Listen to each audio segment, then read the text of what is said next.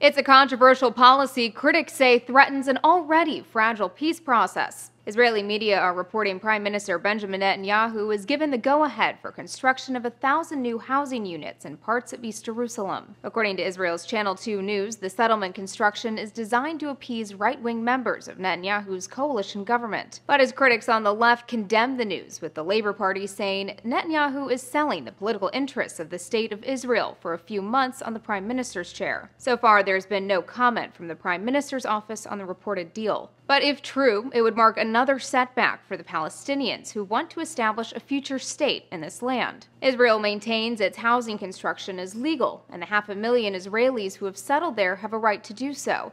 Most of the international community disagrees and sees the settlement building as an obstacle to peace. That includes close ally the United States, which has in the past been vocal about its opposition. Uh, this development will only draw condemnation from the international community, distance Israel from even its closest allies poison the atmosphere. The timing of the settlement reports is far from ideal.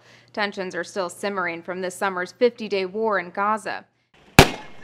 And in the past week, parts of Jerusalem have seen increased clashes between Israeli police and Palestinians, with militant group Hamas going as far as to declare a third intifada. The riots came after a Palestinian man drove his car into a group of pedestrians last week, killing an infant and an Ecuadorian woman. A senior Palestinian Authority official told reporters Israel's housing plans would cause an explosion of violence. For Newsy, I'm Elizabeth Hagedorn, multiple sources, a broader view.